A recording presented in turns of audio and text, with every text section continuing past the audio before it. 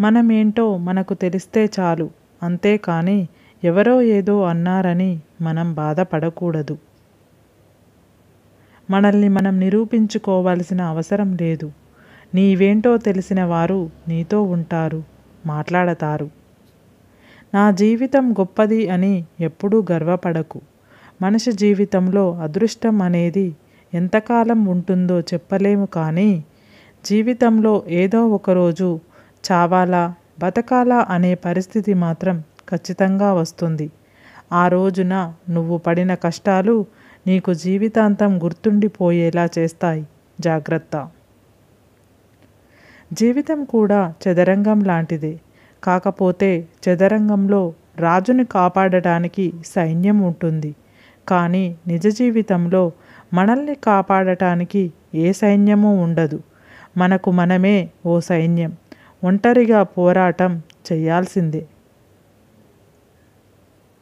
ఎదుటి వ్యక్తి గురించి మీరు తప్పుగా అనుకుంటున్నారు అంటే అతని గురించి తప్పుగా చెప్పేవారే తప్ప మంచిగా చెప్పేవారిని మీరు కలవలేదన్నమాట.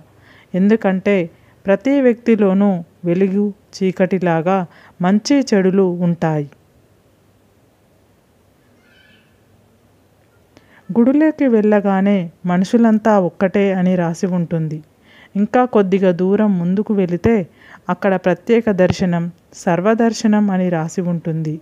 అక్కడ మన స్థాయికి తగిన ధరలు పెట్టి ఉంటారు. మనుషులంతా ఒక్కటే అయినప్పుడు వ్యత్యాసాలు ఎందుకు?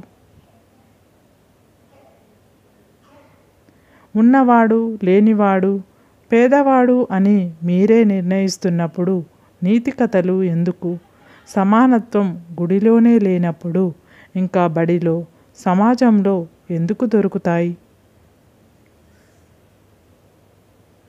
రెండు పదాలు మీ జీవితాన్నే మార్చగలవు. ఒకటి చేయగలననే ఆత్మవిశ్వాసం.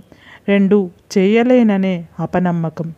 వీటిలో ఏది ఎంపిక చేసుకొని నడుస్తారో దానిపైనే నీ జీవితం ఆధారపడి ఉంటుంది.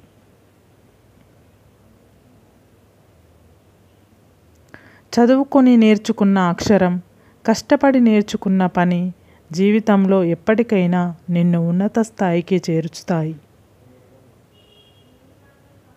స్నేహం పుస్తకం దారి ఆలోచన ఈ నాలుగు సరైనవి దొరికితే జీవితం సాఫల్యం అవుతుంది లేదంటే వైఫల్యమే. సరే ఫ్రెండ్స్ ఇలాంటి మంచి విషయాల కోసం ఈ ఛానల్ని లైక్ చేసి సబ్స్క్రైబ్ చేసుకోండి.